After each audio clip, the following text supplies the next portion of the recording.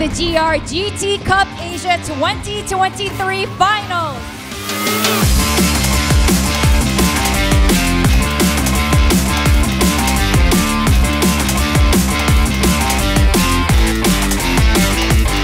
There's a potential overtaking maneuver here. Fadris closes in, and there could be contact there. Fadris is pushed wide, and Taj Aiman forces himself into P1. Fadris Isa and Taj Aiman side by side. Fadris Isa from Singapore, Taj Aiman from Malaysia. Taj is holding on. Fadris is going on the outside, and Fadris tries to hold on. It is side by side. Fadris just edges in front, and Fadris Isa is the new race leader. Oh, the slide from Reyes. This is rally car style. Reyes into the wall. Look at Day on the inside. Three way coming up to turn one. Benayo has a look on the inside and takes Kai Chang by surprise. Kai Chang was looking ahead, he should have been looking behind. Benayo is the new race leader. Kai Chang goes into P2. Now then, is a little bit of contact. Punkpak gets P2 back. Kai Chang is squeezed into the wall. Spot is ready. The red lights are up and we are underway now. Now that the weather's actually getting even worse, there might be top or even wet tires being used for the guys as Punkfight goes off wide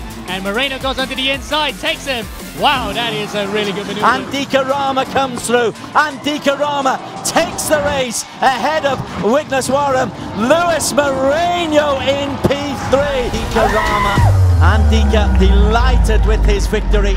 As you can see, celebrating. He knows that he's in Barcelona.